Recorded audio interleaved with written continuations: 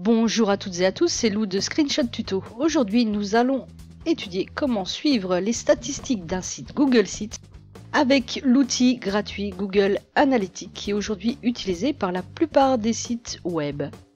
Dans Google Sites, dans cet onglet, vous allez voir la petite phrase analyse de site. Et pour pouvoir procéder à cette analyse de, suite, de site, il va falloir que vous obteniez un identifiant. Cet identifiant va vous permettre euh, de suivre l'évolution de vos statistiques sur Google Analytics, comme vous pouvez le voir ici sur cette page de présentation. Pour cela, dans Google Analytics, dans les paramètres, vous allez cliquer sur Créer une propriété.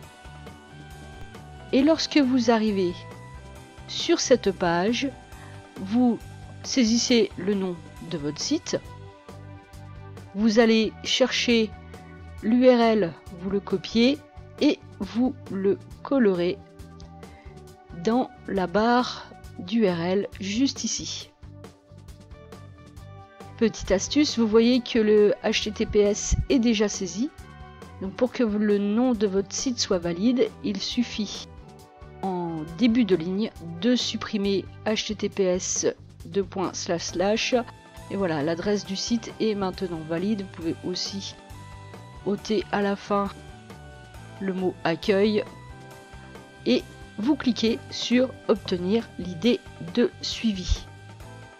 J'ai dû masquer évidemment cette page pour que de personnes malveillantes ne puissent pas utiliser mes idées de suivi sur mes sites pour me faire de mauvaises blagues.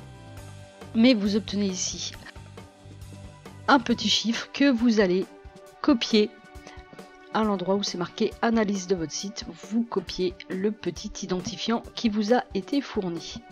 Avec cet identifiant, eh bien, vous allez pouvoir voir les statistiques de votre site.